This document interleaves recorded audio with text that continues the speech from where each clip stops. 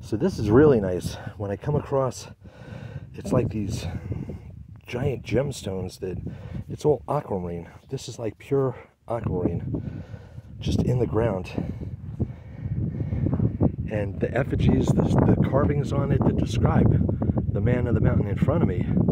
And as you can see, the X marks the spot right in the middle here. But the samples themselves, it's not just a, a rock. Look at it, that's just like pure aquamarine.